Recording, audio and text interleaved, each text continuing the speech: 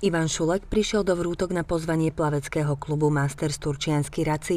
Tí zorganizovali šiestý ročník vodnopólového zápasu hviezd, ktorému predchádzalo uvedenie Karola Rybárika a Dušana Štekláča do Vrútockej vodnopólovej a plaveckej siene slávy za ich celoživotný prínos.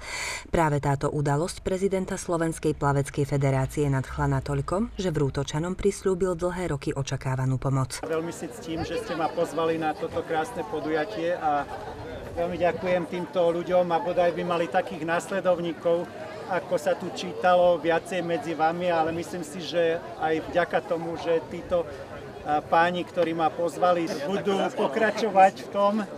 A ja verím, že ten stánok, o ktorom pán hovoril, že chce, aby, sa tu, aby tu vyrástol, plavecký bazén, tak eh, budem robiť všetko preto, aby ten plavecký bazén v Martine, alebo kryty, takže kryty vám môžem slúbiť.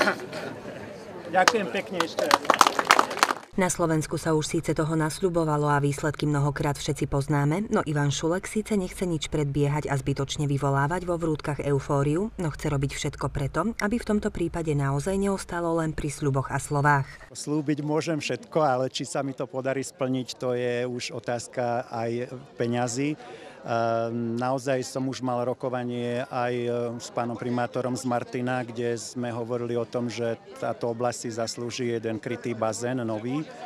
A tu by som si vedel predstaviť minimálne prekrytie tohto bazéna, pretože Vrútky sú takisto e, mesto, ktoré potrebuje e, tiež bazén a keď tu sú takí nadšenci, tak naozaj sa nedá tento letný šport robiť celé leto alebo celú zimu v takomto prostredí. To, to naozaj v tých horách to musí byť sviežo. Je to ambícia, je to taký dlhodobý e, cieľ aj vodnopolistov vrútockých, robia na tom, podporu našu samozrejme majú a treba len im držať palce, aby sa to raz podarilo. Práve preto som tu, aby som to videl, pretože ja keď budem presviečať e, ľudí, ktorí e, na to majú nejaké páky, tak musím to najskôr vidieť a musím povedať, že áno, je tu veľa nadšencov, robia to dobre a práve preto to treba potlačiť. Bol by to prínos určite, nemusia e, cestovať po iných e, lokalitách, keď chcú vyvíjať tréningovú činnosť, ale verím tomu, že aj to, tie možnosti pre verejnosť by sa tým rozšírili.